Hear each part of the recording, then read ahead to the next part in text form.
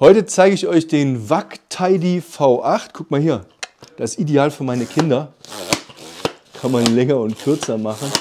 Ähm, da kann man nämlich, wenn man hier unten die Düse abmacht, habe ich die immer gesehen, dann spielen die mit dem Ding so rum. Schießen die hier.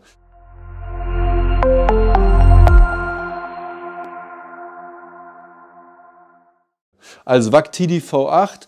Ähm, der macht auf den ersten Eindruck einen guten Eindruck, der saugt auch relativ robust, ähm, ist auch stabil. Wenn man ihn auspackt, denkt man, die Zubehörteile sind so ein bisschen für, aus Plastik und so ein bisschen leicht. Aber das hier ist schon mal robust. 109 Euro im Moment bei Amazon, ein guter Preis. Ähm, ich zeige euch jetzt gleich, was er kann und was er nicht kann. Ja, dann packen wir jetzt hier den Wack Tidy V8 mal aus. Und ähm, Schauen wir mal rein. Schon mal, also, schon mal eingepackt ist der relativ solide. Und schon mal was mir gefällt ist, da ist ein Handbuch dabei. Und ähm, man sieht auch direkt, wenn man das jetzt auspackt, sieht man direkt ähm, eine relativ schmale Bodendüse. Wir haben ein Ladegerät, ein sehr leichtes Plastikteil, ähm, als Fugendüse, eine ja, Polsterdüse. Dann haben wir hier noch, oh, das ist schwer, schön stabiles, würde ich sagen, Saugrohr. Und das hier ist die Wandhalterung, die wir noch haben. Und was auch noch in der Packung drin ist, ist ein gesonderter Akku, den man einsetzen kann. Der ist auch schwer, wie sich das für einen Akku gehört. Und was ich jetzt als letztes hier noch rausholen muss aus der Packung, ist ja dann die Motoreinheit. Seht ihr hier? Jetzt packe ich das gleich mal aus, aber das brauche ich ja nicht zeigen. Und dann gucken wir uns das mal im Detail an. Also der Vactidi V8 ähm, ist ein relativ robustes Gerät. Der hat hier auch entsprechend einen Akku, der gesondert rauszuholen ist. Also ihr könnt den Akku rausholen, könnt einen zweiten Akku bestellen. Im Turbo-Modus hält er 7, 8 Minuten, im anderen Modus ungefähr eine halbe Stunde. Und der Akku wird einfach hier reingeschoben und los geht's. Ja. Schön ist, relativ einfach, könnt ihr rausnehmen. So. Und die Entleerung erfolgt dann hier mit ähm, der grünen Taste. Klack, können entleeren. Einfach dann so rum in den Mülleimer. Und reinigen könnt ihr ihn, indem ihr einfach das Ganze mit Wasser ausspült und dann müsst ihr es allerdings einen Tag trocknen lassen, damit auch wirklich sich wieder kein Wasser drin befindet. Zusammensetzen, sehr einfach, indem ihr hier unten das Ganze, Achtung, ähm, einklingt, war falsch rum. So, also indem ihr es hier unten einklingt, so, da, und dann oben rein, blub. Das Gerät hat zwei Stufen, an ist immer erstmal die einfache Stufe. Und dann könnt ihr nochmal drücken hier. Dann habt ihr die laute Stufe, wo mehr gesaugt wird. Und nochmal drücken ist aus. Ist nicht wie beim Dyson, dass ihr die Knöpfe halten müsst, sondern ihr könnt wirklich an, aus und durchsaugen. Ist ganz angenehm, weil man einfach so machen kann. So, Zubehör dabei ist entsprechend eine Polsterdüse. Die ist super leicht, jetzt nicht die Top-Qualität, aber reicht aus. Eine Fugendüse, das ist auch so typisch Plastik, so im Bereich unter 200 Euro bei allen Akkusaugern ist da nichts Robustes zu bekommen. Hingegen die, äh, das Saugrohr, das könnt ihr verstellen, indem ihr einfach zieht. Eben habe ich es so schön hinbekommen, jetzt geht es gerade nicht. So, hier, also ihr könnt einfach ziehen, höhenverstellbar, längenverstellbar sozusagen. Ähm, das ist wirklich robust, also das ist äh, wirklich gut gemacht. Und ihr könnt es dann einfach hier reinschieben. Und wenn ihr dann ein bisschen Gegendruck habt, hier anhalten, dann könnt ihr das einfach, sehr einfach verstellen. Also ist überhaupt kein Problem.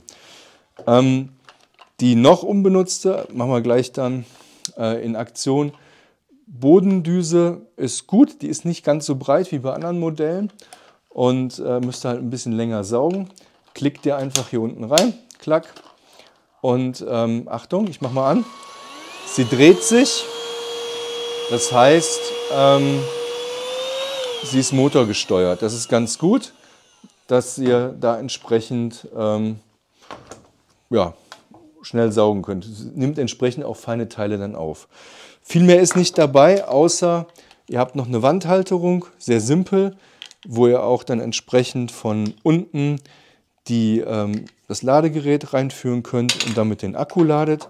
Und ist ein Handbuch dabei. Das Handbuch ähm, gibt es auf Französisch, Deutsch, Englisch, Italienisch. Also sind alle Sprachen mit dabei. Relativ simple Anleitung. Aber erklären muss man ja nicht viel. Ne? Einfach an, aus, machen und dann läuft's. Ja? Simpel. Jetzt gucken wir uns das Ganze mal in Aktion an. Und dann zeige ich euch, wie es funktioniert. Ja, dann wollen wir mal saugen. Also hier vom Kamin auf Fliesen im Eco-Modus kein Problem. Geht sowohl mit schnellen als auch mit langsamen Bewegungen alles gut weg. Dadurch, dass es eine kleine Düse ist, kommt er auch relativ gut in die Ecken rein. Also da kann man wirklich mit äh, saugen. Und ähm, ich habe natürlich jetzt hier, wenn ich jetzt auf den lauten, also den saugstarken Modus gehe, auch die Möglichkeit, größere Holzschnipsel einzusaugen oder Blätter. Geht gut. Ähm, und äh, ja, das funktioniert schon mal ganz gut. So.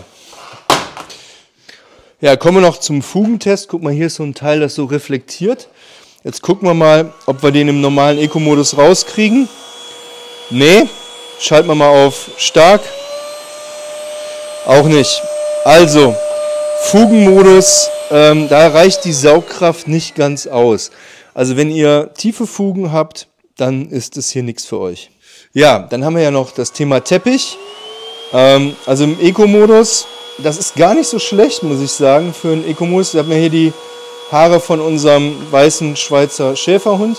Jetzt mache ich mal auf den Turbo-Modus und ähm, kann man, also das kann sich sehen lassen im Vergleich zu vielen anderen vor allen Dingen für einen Preis von ähm, nur 100 paar gequetschten Euros ist das super. Ähm, ja, was noch auffällt, ist, er hat vorne hier diese, diese Beleuchtung. Das ist ganz gut, wenn ihr mal unterm äh, Sofa oder so saugen wollt. Und ähm, was mir, also wie gesagt, Saugleistung auf Teppich mit Hundehaaren ist ganz gut. Thema ist dann natürlich immer, dass man die Haare hier unten drin hat. Also er hat keine Haarschneideeinheit, da braucht er dann irgendwann eine Nagelschere. Ähm, es gibt ja ganz andere Sauger, die das bieten, findet ihr auch bei uns auf der Seite. Also wenn ihr einen Hund habt mit langen Haaren, wie unseren Charlie, dann ist das eher jetzt nichts für euch. Ja, ich habe jetzt hier mal die Fugendüse drauf, weil wir haben ja diesen wunderschönen Adventskalender. Also das funktioniert relativ gut. Selbst im Eco-Modus saugt er hier. Aber größere Schnipsel sind halt, braucht ihr schon Turbo-Modus. Ne? Turbo, geht das auch so. Jetzt gehen wir mal zum Sofa. Ich bin mal gespannt, wie das am Sofa funktioniert. Jetzt sehen wir hier festgepappten Schmutz schon mal von den Kindern auf dem Sofa. Jetzt kommt die Fugendüse im Turbo-Modus. Also das kriegen wir nicht weg, weil das ist Flüssigkeit. Aber hier rein, das geht gut. Ne? Also auch hier eigentlich sauber. Ich habe natürlich auch für das Gerät die Möglichkeit, einfach diese Polsterdüse äh, ranzusetzen. Da können wir auch direkt in den Turbo-Modus gehen. Und ähm, das geht eigentlich relativ gut. Also wie gesagt, ähm, hier man sieht das relativ gut hier hinten. Die Krümel gehen weg, auch in der Ecke, alles gut. Allerdings natürlich nicht dieser Schmutz, da müssen wir mal ein bisschen mit Wasser ran. So. Ja, ihr kennt es sicherlich auch, die Kinder haben äh, Party gemacht, jeden Abend bei uns. Und jetzt können wir mal hier den Tisch saugen. Das geht eigentlich relativ gut, wie man sieht. Und ähm, das wird auch sauber, selbst im Eco-Modus. Ähm, was halt auffällt, so eine kleine Bürste haben wir entsprechend nicht dabei. Aber geht auch mit der großen relativ gut. Das hier vorne ist übrigens Dreck, den man mal mit Wasser wegmachen muss. Was noch schön ist bei der Reinigung, also ihr habt hier unten den Schieber, den zieht ihr zur Seite, dann könnt ihr die Bürste rausholen und könnt quasi gesondert reinigen, Bürste wieder reinlegen. Ähm, so, müsst ihr dann hier tief reindrücken, zumachen, läuft. Super einfach. So, jetzt gibt es zwei Möglichkeiten. Also entweder ihr macht das Ding einfach hier unten auf zum Entleeren. Schaut, schön Dreck gesaugt. Oder ihr nehmt das ganze Teil raus, indem ihr hier oben drückt. Ja, dann könnt ihr das rausnehmen, bisschen handlicher. Und dann kann man einfach hier wieder aufmachen, Klappe auf und Schmutz raus. Klappt auch gut mit den Hundehaaren, wie ihr seht. Also eigentlich eine gute Sache. Das einmal wieder zusammenstecken, habe ich euch eben gezeigt. Ja, kommen wir jetzt zum Fazit. Also, Vactidi V8 für 100 Euro oder ein bisschen mehr. Super Gerät, spielt in einer Liga mit dem Klarstand 4G, den ich persönlich ein bisschen kompakter gebaut finde, also ein bisschen robuster gebaut finde, auch vor allen Dingen bei den äh, Zubehörteilen. Äh, Nichtsdestotrotz hier sehr gute Saugleistung ähm, auf Hartbodenfliesen, was auch immer. Ähm, nicht so gute Saugleistung auf Teppich, kann man aber auch für 100 Euro nicht erwarten. Wobei er mit den Hundehaaren gut klarkam und das Entleeren hat sehr gut funktioniert, ohne viel zu stauben. Vor allem, weil man die Einheit trennen kann. Zubehör ist eigentlich alles dabei. Vielleicht eine ähm, kleine Elektrobürste wäre cool, aber das ist doch eher so ab den 200 Euro Geräten der Fall. Mm, ihr habt eine relativ kurze Nutzungszeit, 25, 30 Minuten im Eco-Modus, aber da man immer wieder auch mal auf den Turbo-Modus schalten muss, hat man wahrscheinlich am Ende so 12 bis 15 Minuten. Das reicht jetzt eher mal, um neben einem Saugroboter dazu nochmal ähm, entsprechend zuzusaugen, ne? wenn mal eine starke Verschmutzung unter dem Esstisch hat oder wie eben gezeigt bei uns ständig äh, im Wohnzimmer, wenn die Kinder Party machen. So, und äh, also ich kann das Gerät wirklich empfehlen für den Preis. Also wer neben Saugroboter oder so was braucht, was funktioniert, gut ist, habt ihr hier was Tolles. Und ansonsten hinterlasst ein Like bei unserem Kanal, dann stellen wir euch immer wieder neue Geräte vor. Wenn ihr keinen Bock drauf habt, schreibt wenigstens einen Kommentar, dass das Video hier gut war. Bis bald, ciao.